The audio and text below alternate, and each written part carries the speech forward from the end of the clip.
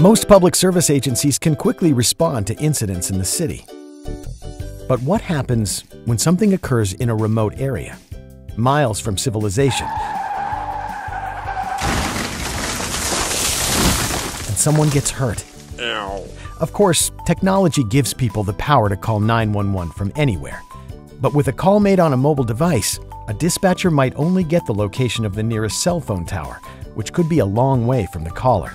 Or worse, they may not get any location at all.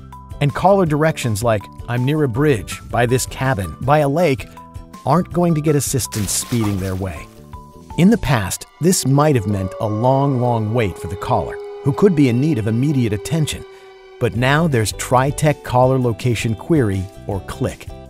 To find the caller, the dispatcher sends a text message with a link once the caller opens it, their exact location is instantly sent to the PSAP, so the dispatcher can send help right away and provide critical information immediately, like medical or survival instructions, and a close estimate of when help will arrive.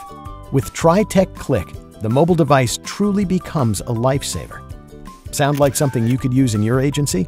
Then find out more at tritech.com.